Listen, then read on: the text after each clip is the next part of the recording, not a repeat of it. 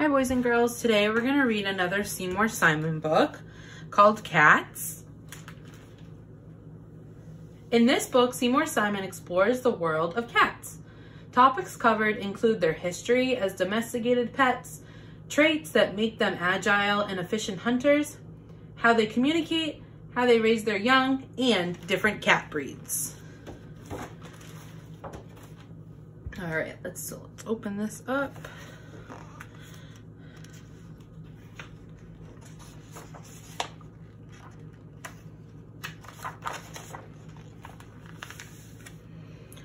Cats are hunting animals. They use claws and teeth to seize their prey.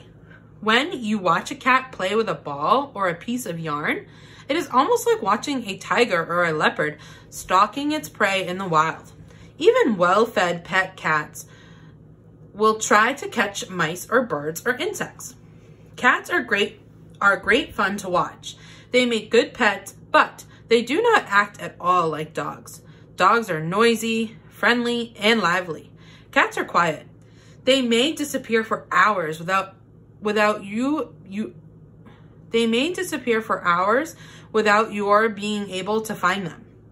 But cats can be also be friendly and will sit on your lap purring contently while you stroke their fur. Learning about cats can help you select your pet cat and take better care of it. Now that we read the first page, let's talk about some predictions you can make about what you will learn about cats from this book. What's some things you think Seymour Simon is going to talk to us about cats? Let's keep reading to find out. More than a hundred years ago, wild cats were domesticated for the first time. About 5,000 years ago, cats were used in Egypt to protect stored grain from mice and other rodents. Early Egyptians considered cats sacred animals. When a cat died, there was a period of mourning. Then the cat was mummified and buried in a casket in a cat cemetery. In one ancient Egyptian cat cemetery, more than 300,000 cat mummies were found. From Egypt, pet cats began to spread across Asia and Europe. In Siam, Thailand today, only the king and royal family owned cats. The Siamese cat was the royal cat of Siam. But the Middle Ages, cats had become very popular in France and England. In the 1600s, they, be, they came to the Americas with the colonists. Nowadays, pet cats live with people in countries around the world. And we can see right here that this is one of the Siamese cats.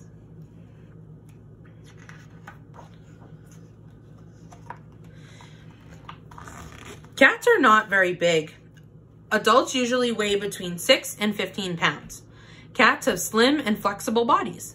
They can twist their bodies in amazing ways. The bones in a cat's back are much more loosely connected than the bones in your back. This makes a cat's body very bendable. Cats are great climbers and jumpers. They also use their tails for balance.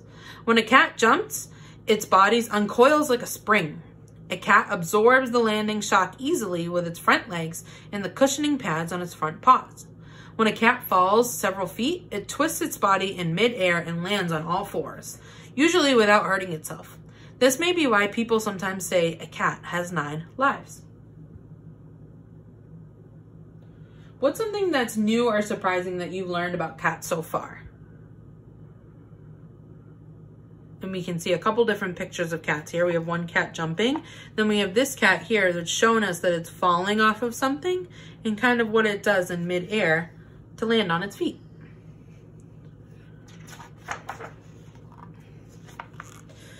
Some people think that cats can see in the dark. Cats have excellent vision, but even they can't see in, in total darkness. They can see in light that is only one-sixth as bright as the light humans need for seeing. Cats have a special mirror-like surface in the back of their eye called the tapetum. Faint lines passes through the eye and then it's reflected by the tapetum, tapetum back, back out of the eye.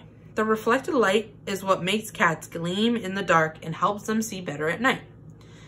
Cats can see in color, but it doesn't mean much to an animal that hunts at night.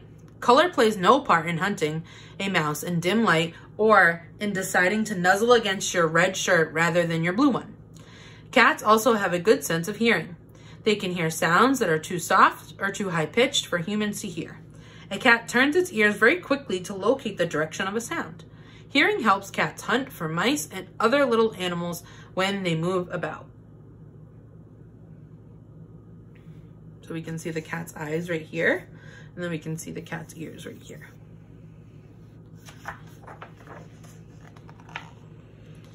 A cat's whiskers are very sensitive to touch. Cats have whiskers on the chin, over the eyes, and on the backs of their front legs.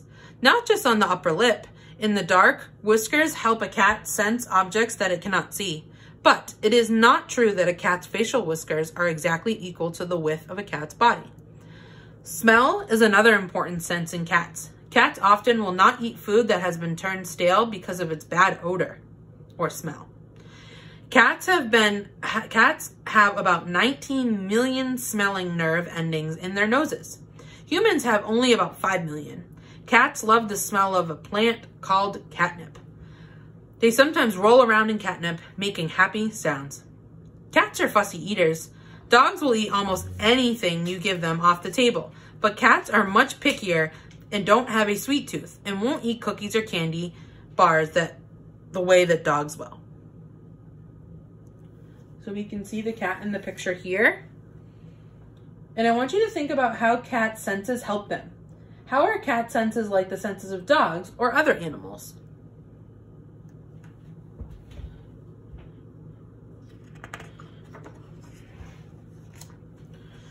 If you have a pet cat, you may have tried to train it to not to scratch the furniture. You may even have tried to teach your cat not to bring a dead mouse into the house. But a cat doesn't seem to learn these simple household rules. Does that mean that a cat is stupid or has poor memory? Neither is true. Cats learn and remember those things that are useful to them, but not necessarily useful to you. It quickly remembers the location of the food and water dishes and the litter box. A cat can even sometimes remember its own name at meal times when it's called. Cats remember things in their own in their neighborhoods that they they want to avoid, like a pesky dog. They may even remember where they live if taken away from home. But only with a skillful training will a cat remember what you want it to remember.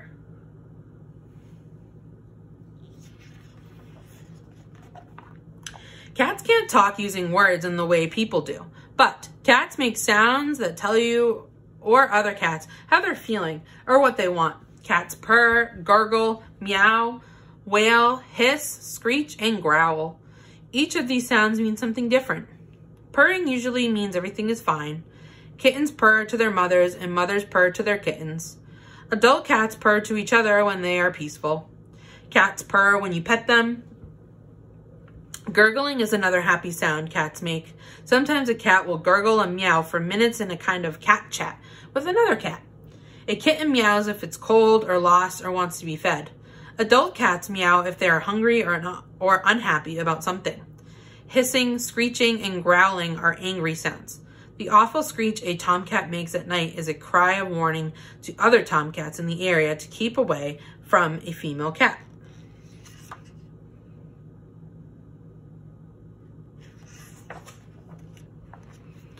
Cats also use body language to show what they are feeling. When a cat rubs itself against your legs or against another cat, it is happy and affectionate. If a cat points its ears forward, it signals friendly interest and watchfulness. An angry cat raises its ears and points them backward, narrows its eyes to slits, and pushes its whiskers forward. A cat that is hunting or playing open, its eyes wide open, perks up its ears and bristles its whiskers. When a cat is petted and happy, it partly closes its eyes and relaxes its body and whiskers. When a cat arches its back, flattens its ears, and shows its teeth, the cat is afraid and defensive. If a cat is frightened, its hair stands up all over its tail, goes down. If it's about to pounce or attack, its hair stands up along the spine and tail. The tail whips from side to side or suddenly stands up. There are many different ways that cat talks. Watch your cat carefully and you'll soon be able to figure out what each sound and body movement, movement mean. By the time they're a year old, female cats can have babies. After mating with a male cat, a mother cat will give birth to a litter of kittens in about 65 days. A litter can contain as many as a dozen kittens. The average litter is four kittens. They use the word dozen. How much is a dozen?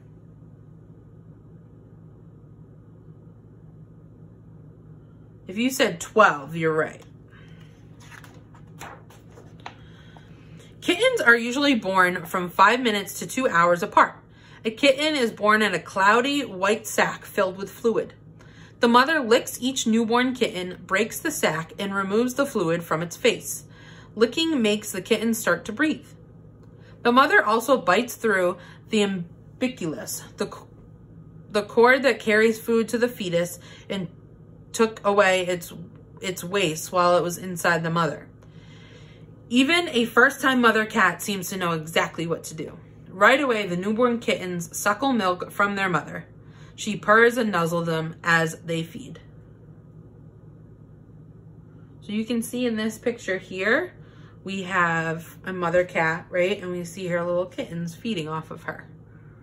And you can see the little baby kitten right there. And she's licking it to clean it. A newborn kitten is mostly helpless. Its eyelids are closed, its ears are laid back. The tiny kitten can't see or hear. It weighs only two to five ounces. It's only about as long as a pencil. At birth, a kitten can wiggle and squirm, but it cannot walk. Newborns snuggle together for the first week or so. The mother licks her kittens often. She carries them gently but firmly by the scruff of their neck. The mother and the babies soon learn to recognize one another by smell. About eight days after birth, a kitten begins to open its eyes. In less than three weeks, it can see and hear. A one-month-old kitten runs around and plays. It can weigh between 9 ounces and 18 ounces, which is just over one pound. By the end of its second month, a kitten eats solid food and has stopped nursing. A four-month-old kitten is completely independent of its mother. What is interesting about female cats and how their kittens are born and grow? How does this remind you of a mother's mother dogs and their puppies.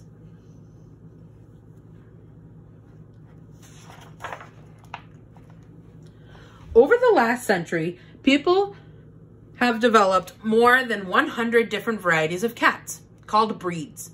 A cat can be a purebred or a mixed breed cat. Pure, purebred cats are usually divided into two groups, long-haired cats and short-haired cats. The most popular breed of long-haired cats is called a Persian, or simply long hair. A Persian's fur is soft and may grow as long as five inches. It has a sturdy body, a round face, a short nose, and round eyes, and short legs. A Persian's fur can be black, white, red, blue, smoky, tortoiseshell, calico, pewter, chocolate, or other combinations. Persians are usually quiet, even temp even tempered cats. That makes them ideal for pets who keep their cats indoors. Other long-haired cats, such as the Angora or the Balinese cat, have slimmer bodies and are more active than Persians. They are gentle, friendly, and playful. So here we have a long-haired cat.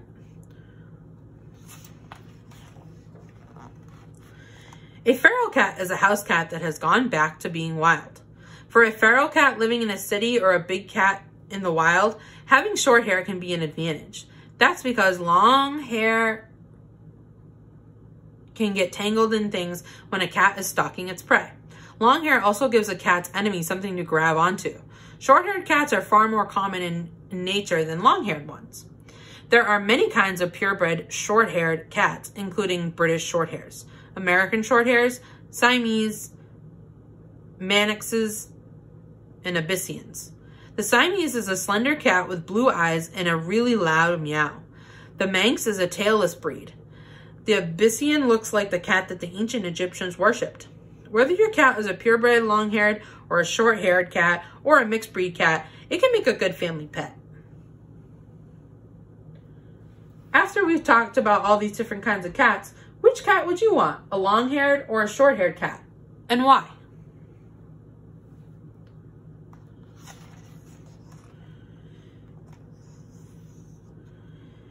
Here are some questions you and your family may want to think about before you decide to get a pet cat.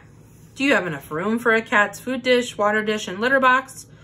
Will your cat have to be indoors all the time or can it be allowed outdoors? Remember, all kinds of cats prey on birds. Consider putting a collar with a bell on your pet cat if you allow it to go outdoors. Will you or other family members have the time and patience to care for a cat regularly? Can your family make arrangements to take care of the cat if you go away or many days on a trip? You also have to think about what kind of cat you want. Should you get a purebred or a mixed breed cat? If you'd like a purebred cat, what kind do you want? Do you want a male or female cat? Do you want a kitten or an adult? Should you adopt a cat from an animal shelter or from a friend or buy one from a cat breeder? You and your family need to find out as much as you can about having a pet cat before making these decisions. For many people, cats make ideal pets. Watching a cat is never dull. A cat loves to explore. It will play with a string or stalk its object. It will climb almost anything and get into the most unlikely places. It can be quiet or friendly with its owner. Cats are wonderful and mysterious animals. Just ask anyone who has ever owned a cat. All right, so this book has a glossary and index like the other Seymour Simon books we have read. What could you use a glossary or an index for?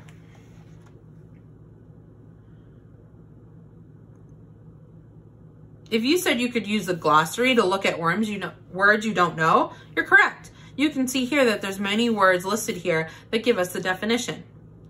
And for the index, if you wanted to find a certain kind of cat, you could use the index to do that. For example, if I wanted to find out about long-haired cats, I'd go to page 27 and 28. And again, at the back of uh, Seymour Simon's books, we have a lot more nonfiction books. And I hope you enjoyed reading this book today with me.